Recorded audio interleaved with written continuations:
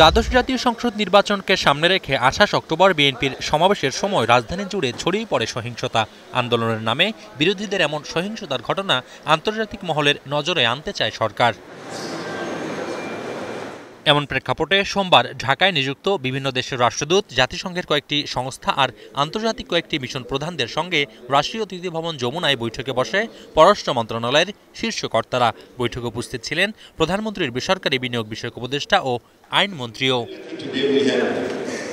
আঠাশ অক্টোবর রাজধানী জুড়ে সহিংস ঘটনার চিত্র তুলে ধরা হয় তাদের সামনে। বিভিন্ন সূত্র থেকে পাওয়া তথ্য ও ছবি পাঠানো হয় তাদের ইমেইলেও। বৈঠকের পর গণমাধ্যমে পররাষ্ট্রমন্ত্রী বলেন, বিএনপি জামাতের তিন দিনের অবরোধে দৈনিক ক্ষতি হবে ষোলোশো কোটি টাকা।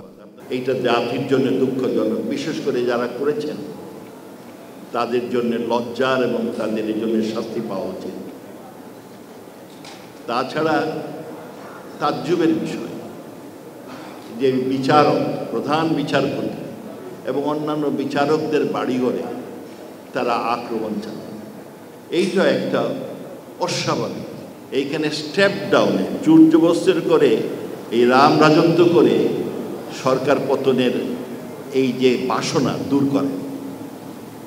এগুলো অনেক আমরা তাদের বলব, আপনারা আবার স্বদেশ প্রেমিক হয়ে, দেশের প্রেমিক হয়ে আপনারা নির্বাচনে আসেন।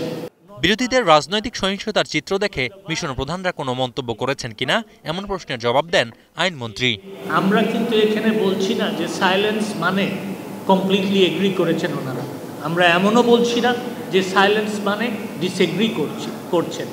আমরা যেটা বলছি সেটা হচ্ছে ওনাদেরকে প্রশ্ন করার সুযোগ দেওয়া হয়েছিল ওনারা কোনো প্রশ্ন করেন নাই। তার মানে আমরা যতটুকু বুঝতে পারি যে আমরা যেই ব্যাখ্যা দিয়েছি তা সেটা অন্তত পক্ষে পরিষ্কার হয়েছে।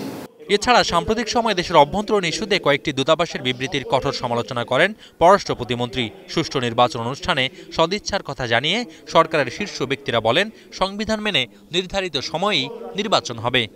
নির্বাচনে কাউকে আসতে হলে বর্তমান নির্বাচনের যে বিধিবিধান আছে সংবিধানে যা আছে সেইভাবে তাদেরকে আসতে হবে। মোকারম হোসাইন এখন ঢাকা।